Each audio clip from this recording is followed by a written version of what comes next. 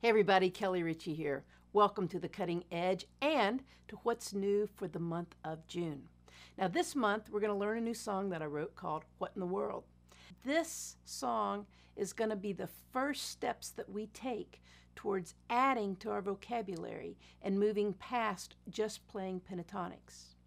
And starting in July, we're going to start looking at modes, but from a very simple perspective. Uh, the modes can be very confusing to people.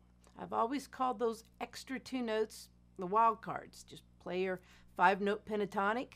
I've got a concept five plus two equals freedom. You can stick to your pentatonic scales, but if you want to add those two extra notes, this song lays the foundation for that. I've included the rhythm track. Also, there's a new mini series, and I'm going to put that in the song pack section. It will be the first song. And I will include the MP3 from the uh, recording that was on my Carry the Light CD. So all of that's there. And if you're beginner to intermediate, depending on where you are, make sure that you learn the chords first in their simplest form because you can play a version of this song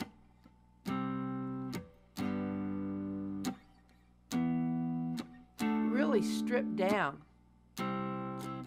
Now I want you to notice how whenever I play, I don't sit still. I'm always feeling the groove. Now, I'm going to be saying this a lot. If you don't feel it, nobody feels it. So, focus points for the month. We're going to be learning what in the world. Make sure that you get the chords down first before you try to play the riff or add any of the hammer ons, pull offs. Once you get the basic structure down, be sure to play along with the rhythm track. Make sure that each and every day you're doing some kind of a warm up on your guitar. Whether you have time to practice or not, at least grab your guitar and run through one finger exercise so you stay connected. Break up your practice time into thirds. Take some time to warm up, then tackle the thing that's the hardest. After that, play and have fun. And on those days that you really have some extra time to put in, just repeat that cycle. Take a little break, come back, and keep going. Because you want to continue to build connection with your guitar. You want to continue to tackle new material that you're learning. And you want to play and have fun. I am working to uh, really build out my YouTube channel.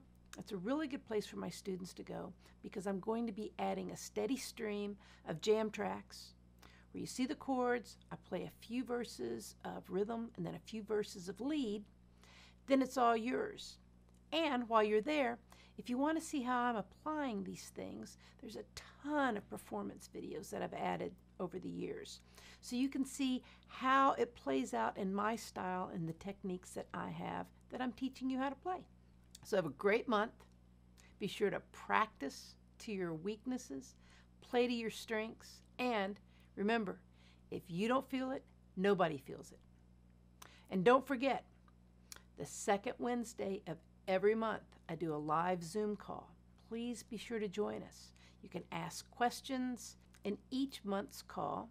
I go over the focus points for the month and then take Q&A and answer any questions that you have. Each one of these calls is recorded and posted in the channel in the folder that says live Zoom calls. So if you miss it or you're on a weird time zone and can't make it, you can always rewatch it and feel free to hit me with a message if there's something you want me to cover.